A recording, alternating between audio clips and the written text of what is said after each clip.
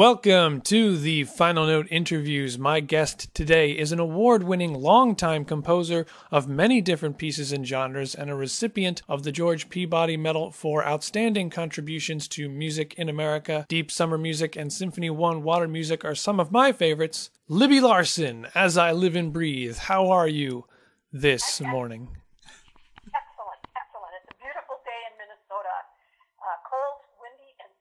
It's cold, windy, and sad over here.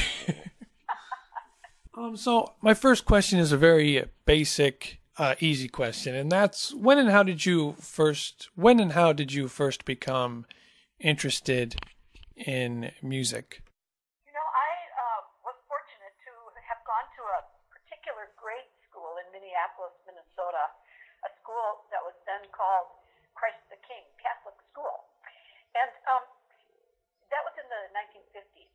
That school uh, had a had a way of teaching uh, children uh, to read and write music in first grade.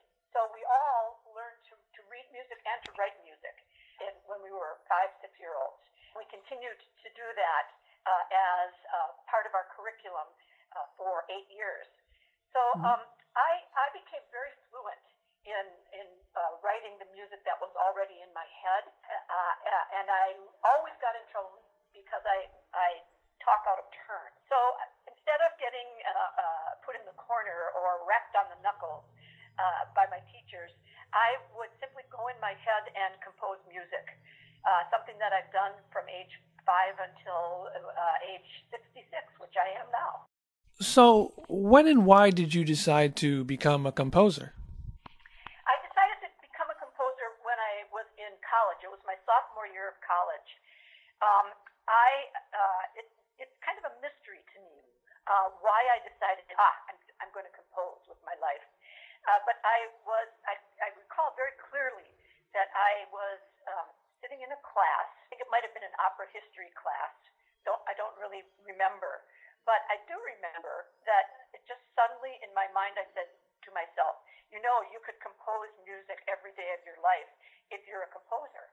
Uh, and um, and so long about that time, between sophomore and, and junior year uh, in college, I knew that I was going to com- compose music uh, for as my journey through through life.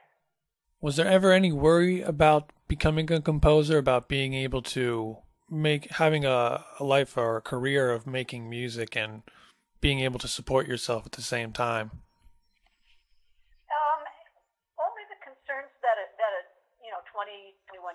has uh, about what does life look like down the road a piece, which at that point was at age 30, seems really old. Uh, and um, I had a wonderful group of, of colleagues, many of whom are still my very close friends, all, all, and all of whom were composers. And we just started talking about what does the world look like for us since we decided to, that composing music is what we're going to do with our lives. We uh, took a close look at what was available for composers. You could become a film composer. You could uh, work in commercial uh, uh music. You could uh, write symphonies or operas or string quartets. Um, but the path that was a, that we all wanted to pursue was the path of uh, what you would call classical music, writing for classical instruments.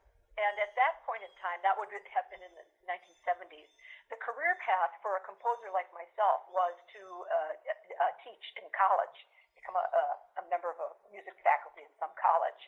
And um, it turned out that none of us actually wanted to do that. Uh, uh we wanted to compose music. So we got together and many long talks over coffee and sticky buns and, and the occasional uh, bottle of wine we decided that we needed to create for ourselves a marketplace. Uh, and um, and so we formed the Minnesota Composers Forum at, uh, at that time, uh, and which is now the the American Composers Forum, the largest of its kind, I think, in the world. A place where you can express yourself through music as your focal point uh, in your life. We just filled a void, we didn't actually worry about making a living. We worried about creating circumstances for uh, composition and for audiences to hear our work. Now, if I have this right, uh, you're what I guess some people term, and this might be a, a, large thing. I don't know. I I haven't looked into it much, but uh, you're what some people would term a music philosopher, and I was wondering what that might entail. I view the world uh, as a non-chronological uh, place, mm-hmm. um, and I view music as uh, human beings' natural tendency to reflect themselves through sound. And so um, when I uh, give a talk or uh, am asked to speak uh, uh, at a convention, say for instance, the, the ACDA convention, which is in town in Minneapolis this week, um, I tend to want to approach what I talk about uh, through through the humanities and through cultural anthropology, and use music as a way to view to view the world. So if, if that is philosophizing, then um, that is what that is one of the ways that I express myself uh, through music. Uh, one of my favorite pieces of yours is summer music. Perhaps give me your thoughts on that piece because that's a piece that's really colorful and vibrant and really relaxing and kind of reflective of uh, some some of the other pieces that you've written. Uh, not all of them, but some. Yeah. and they, they have this great uh, attention to detail. This summer music and water music have this kind of attentiveness to the vibes and feelings and sensations one can get from the world around them that many people may experience, if not entirely notice them. Um, yeah. so, so, what are your thoughts on summer music, and what was the intention there with that piece? Well, um, the intention uh, uh, was to create a, a deep sense of uh, peacefulness uh, and um, and if not contentment, but that feeling that all is right, not necessarily with the world, but that all is right. And um, deep summer music had an interesting creative process uh, in that I was invited uh, by a very small town in Minnesota, Terrace, Minnesota, uh, to compose a piece for the Minnesota Orchestra. Um, the town had invited the Minnesota Orchestra to uh, to their mill, and um, and then invited all of Western Minnesota to uh, come and come to the orchestra concert.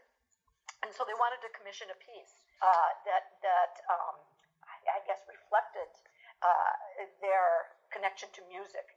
Uh, so I went to Terrace, Minnesota. Its population was about 80 people, 80 uh, people, and and um, I spent a weekend there, and I interviewed uh, uh, maybe 50 of those 80 people.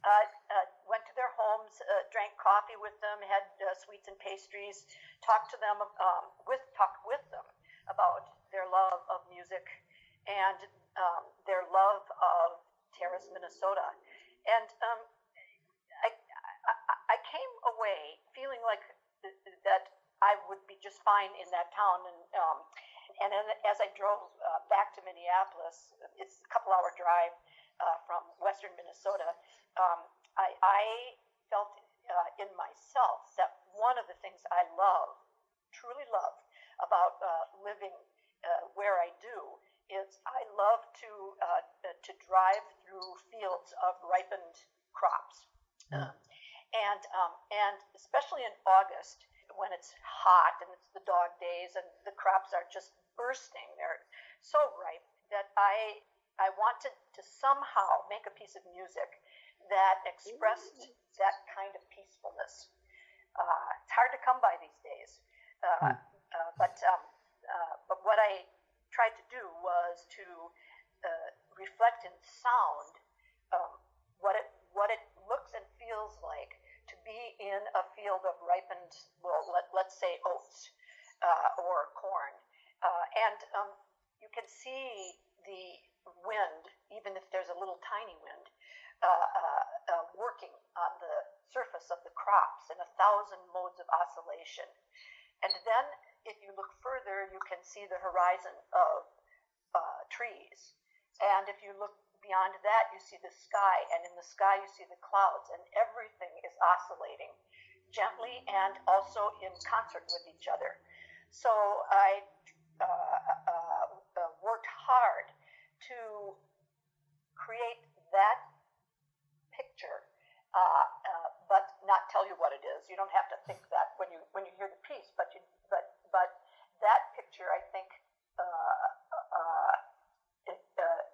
suggests a, a deep kind of contentment in bounty. So, what about your your first symphony? I, I, I believe it was your first symphony, Water Music. Yes, it was. Yeah. It's a very lively piece, very uh, a colorful piece. It's, I, I guess, it might be kind of similar in terms of, again, wanting to capture that essence of something within nature or something nice, something pleasant, but also a very colorful piece. And uh, I think the I think it's the third movement that gets a bit crazy, and. Uh, fun and in your face, but it's it's a really great symphony, and I think uh, it was back in '85 that it was first performed or something around that time, and still holds up. Uh, it's still one of my favorite pieces. So, what what was your thoughts and creative process for that piece? Um, well, that piece, because it was my first symphony, mm-hmm. um, I I wanted to write about something that uh, uh that I know Mm-hmm. And and one of the things I know from living in Minneapolis and Minnesota uh, is I I know water. I know it in all its forms, uh, uh, and uh, frozen and and fluid. I also grew up uh, racing sailboats, so I know I know water and wind t- together. Uh, and with the um, symphony water music at its base layer is the interaction of uh, um, wind and water and and a human all, all in one. I wanted to see if I could, rather than describe uh, waves and wind and water, uh, if I could actually create an, an experiential piece, so that you actually feel as if you're getting, you know, uh, uh, splashed with water, or or you're becalmed, or uh, at the third movement. Um, uh, if you're a sailor uh, and you, you watch the surface of the water, there are these there are squalls of many many kinds, and um, and a, a, certain kind of squall, squall called a cat's paw. It just hmm. um, it, uh, the wind hits the water and then the squall spreads out like a cat's paw, uh, and uh, it can tip you over immediately. Hmm. So um, I at, at with deep summer music and with symphony water music and with with all of my music, I am looking to to offer the perception of actually being water or being uh, that that that wheat field, or like with four on the floor, or or or driving, being in that car, driving very fast. Uh, it's something that I uh, have always done with music and it springs from my own uh, definition of, of composition, mm. which is making an order of sound in time and space in order to communicate what it's like to be alive. Yeah, and and on that note, I mean there there's definitely a, a lot of pieces that uh, people can find of your work, whether it's in CD or digital format or anything like that but there are still some pieces that I, I kind of noticed that I, I don't know if they are in any format yet because I know there was like one piece I saw called Earth that was performed by the, the, the Baltimore Symphony Orchestra and I think there were you know a few others and I was just wondering is it are those pieces like ever going to see like maybe a physical release on CD because I know that's kind of hard for the composer to tell whether any of that's going to happen or not but you know um, in the case of Earth uh, which is uh, which I composed for the Baltimore Symphony Orchestra. Mm-hmm. Um, I have been trying to get a recording from them uh, mm-hmm. since they performed it, uh, but to no avail. The, the, that symphony is going through some administrative mm-hmm. upheaval. and even if I did get a recording from them, I would not be allowed to put it up on digital media or press a CD from it. Uh, because of the musicians union rules. Mm. So there are pieces that I that I have I've composed uh, that uh, that I would need to find a way to get those pieces onto uh, digital format that I could distribute, uh, and um, that's been that's been an interesting uh, challenge I think for composers throughout the country for for the last 60 years. That um, that in fact, if you if you have a fine performance by a, a fine professional uh, ensemble, there are negotiations and the the changing of uh, of money uh, in order for that piece to and that performance uh, to be available to the world. Who might some of your favorite composers or musicians be that may have influenced you or was just stuff that you really liked? yeah, yeah. Um, um, I, I, I always have been a, a big admirer of uh, Berlioz's music. He actually came at his compositions not by the keyboard. He was a guitarist, and you can hear it uh, in his music. Not you can't hear guitar pieces, but you can hear the way that he hears how sound uh, works in the air. Uh, and I'm, I'm, continually fascinated uh, with with how how transparent his uh, his music uh, can be. I um, also went through a big stint of loving Stravinsky's music, which I, I do. I love his music, uh, and I love his orchestral techniques and his voicing. And, and um, Bartok, whose music I admire, especially his quest to translate the, the language of his people uh, through the rhythms that he employs in his music. He is also able to evoke feeling in a way that um, that is uh, more than perhaps Stravinsky's music. And now that's it. The American culture has in, you know, has evolved its own music. So many of my heroes uh, come come really through the uh, American culture. Uh, Louis Armstrong uh, is is one of my heroes. Uh, Carl Stalling, Looney Tunes fame, is another hero. Uh, Chuck Berry, Big Mama Thornton, Chicago. let's see who else there's there's many, and they populate my my studio on any given day when I'm working on a piece. Suddenly, up Chuck Berry will show up uh, in, in in my head, and I'll have to uh, say, well, why are you here? What, you know, I mean, usually here to say something about the piece that I'm working on.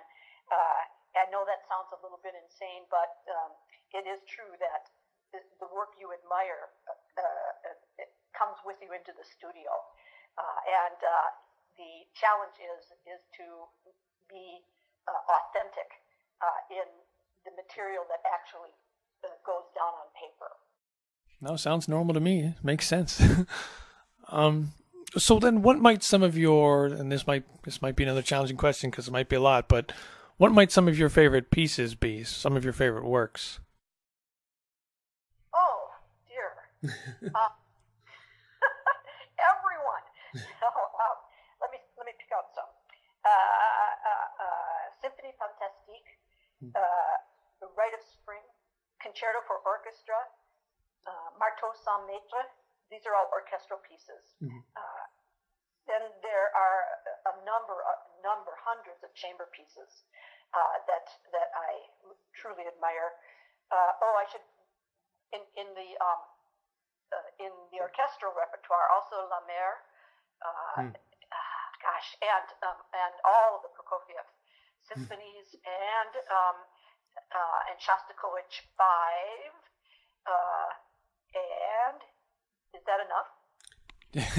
it's good. It's a good amount. Do you mean the Fifth Symphony of Shostakovich? Yeah. Oh, that's yeah. my favorite too. I love that one.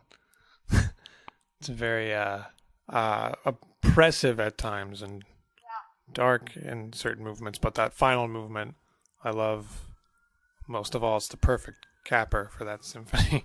so I know at one point you, and this is, I mean, I never know how much, what information to rely on when it comes to the internet, but you once did a research subject on what the modern young person, maybe 30, 20, 40, or uh, in their teens or whoever they may be, you know, what their reaction was to classical music today, whether it was the original music or uh, modern classical music that was being made in the present. But and it, it was the part of the research project was to find out what it was about classical music that put some people off, put them away, and some aspects that uh, they enjoyed about it and they're they're always it's still a topic today. It's it's a question of whether or not the youth is interested in classical music, whether or not they should be. My question is, what are your thoughts on the state of music today, in general or classical?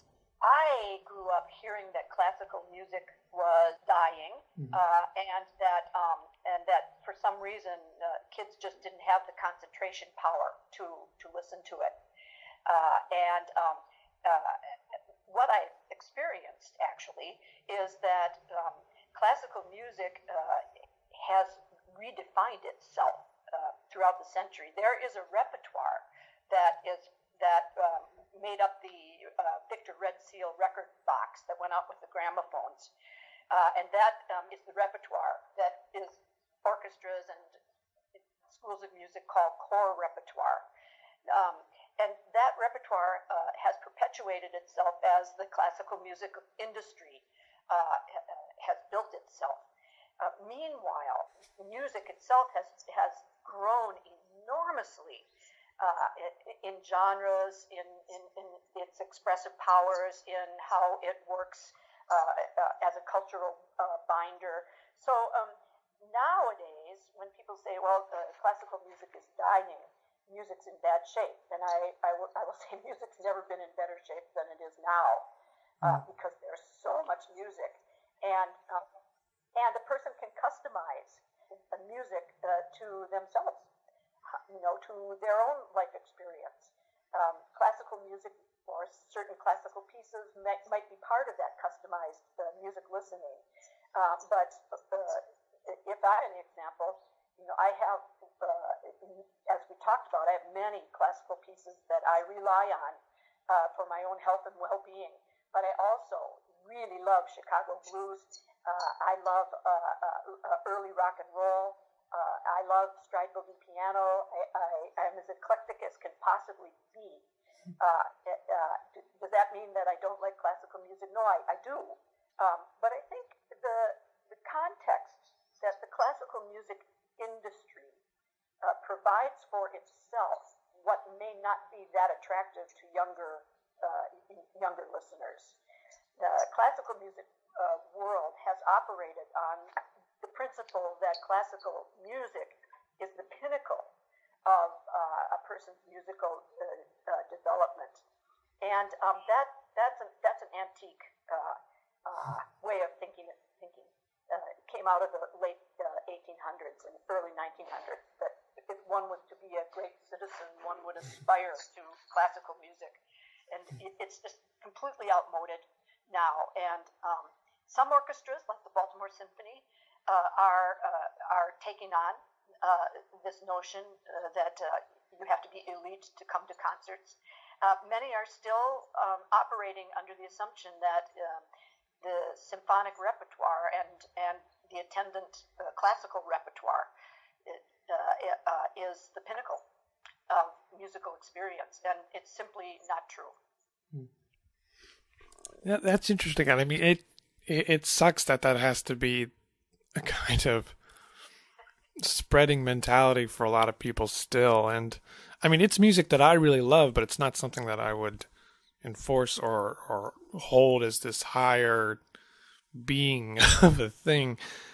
But but at the same time, it's um, it's there's still a lot that's there that's worthwhile to listen to. And I guess my next question is maybe what you might tell someone who was maybe kind of interested in orchestral music or instrumental or classical music or whatever you want to call it. Um, what you might tell someone who was interested in it but was kind of maybe depressed about how much they had to learn or listen to or how intimidating it yeah. looks? Well, I would say forget about that. You don't need to know anything to listen to, to music, uh, any kind of music. You don't. You just have to uh, be alive and allow yourself to feel uh, what uh, you know what you're listening to. Um, I also would say, if it's at all possible, uh, listen to music live, uh, especially orchestral music. Go inside the hall, which is just a big speaker, you know, and um, just let yourself feel the music that is surrounding you. Uh, and you don't need to know anything, you just have to feel. And um, uh, uh so those are a couple of things uh, that I would say. The question of dress and behavior uh, in in an orchestra concert, for instance, I think we're moving away from uh, my parents' uh, generation. My parents are both deceased now, but the idea that you have to dress up uh, mm-hmm. and um, and behave yourself, uh, sit in a chair quietly, uh, wearing your best bib and tucker, uh, and look straight ahead and let the music, you know, and, and listen to the music. That's an, an outmoded uh, a way of thinking too. You can dress however you want. Uh, nobody's going to kick you out of the hall. And uh, and um, as to listening quietly, I, I go to a lot of colleges and I you know uh, am around a lot of many uh, uh, new time concert goers. Um, and what I like to tell them is that the air that's holding the music is like a canvas that's holding a painting. So if you were viewing the Mona Lisa, you, you wouldn't want to uh, uh, uh, spot it with orange paint. When you're listening to a concert, you don't want to spot the air uh, with, uh, with sounds that are not part of the music. That is the equivalent of throwing orange paint on the Mona Lisa. So the quietness is a, a process. I'm glad to hear you say all this because I don't know. I, I think some people probably disagree with me or kind of make fun of me in light when I say that I, I I sometimes don't get what what the idea is behind this almost strange pressure to take classical music as if you were performing some kind of sacred rite and um, and uh, I mean you can see that in kind of there's another siren, jeez. But yeah, I mean uh, people wearing uh, tuxedos or suits or fancy dresses to play music is fine. You know, if that's what you want to wear, go ahead. But at the same time, I I, I really don't mind if someone I I don't mind even if they just come to stage with their violin and a jacket and dungarees. You know, I I really don't care what they wear. You know, I I care more about what I'm about to hear. So it it just seems like a dubious thing to do. Right. Well, you know, it's a it's a it's a reflection of the culture as you know as it as it was in up until about 19 in, uh, in the early part of the last century. The the formal ensemble would be also would be um, is the orchestra that it's a formal ensemble it's uniform and it's there so that so as not to distract the the mind of the listener. That that's changed in our culture, completely changed. Uh, and um, the dressing up to go to the concert was really a, a, partner to that to that formalness of the concert hall and the, the formalness of the audience was part of that. But it's all loosened up. It's all changed. So, are there any other pieces that you perhaps wanted to talk about? Maybe the marimba concerto or parachute dancing? Because there's a lot of pieces, and I was just kind of wondering if, if there was a piece you had in mind. I didn't want to skip it or something. Well, I compose a great deal of art song and also opera. Mm-hmm. Um, and um, if someone wished to listen to any of my art songs, for instance, mm-hmm. uh, they're on my website there are, are many song cycles that are the Try Me Good King uh, and uh, uh, songs from letters. And my latest project, which is called the Birth Project, mm-hmm. which is uh, songs for sopranos and, uh, and piano. Um, uh, and texts by very fine poets and prose authors, female, expressing what it's like to give birth. So uh, my website is actually pretty comprehensive in that area. So, so if anybody's interested, I would say just hop on my website. and You can hear uh, how I work with art song. Absolutely. Libby, you make me wish I didn't major in literature for my uh, English degree. Uh, it's it's really interesting to hear about all of this music, about the composition, and um, it's it's something that I'm I'm still trying to catch up with. It's I love to play it on guitar. I love to listen to it, but I, I still feel like I've got a lot of catching up to do. And in some ways, that's not a bad thing. That's a really good thing. But well, makes you feel better. I feel the same way. I'll never catch up with the music, so I just jump in and start start composing. That's cool. That's good to hear. So there were there were a lot of glitches. There were a lot of sirens, more than there usually are this morning, which is crazy. So Libby Larsen, everybody. Her name is fun to say, and her music is great. Go listen to it. Visit her website. Uh, check out some CDs on Amazon. They're there. They're available. And that's it. Thank you so much for doing this uh, interview, Libby. I can't thank you enough. It's my pleasure. This was the Final Note interviews. See you next time, everybody.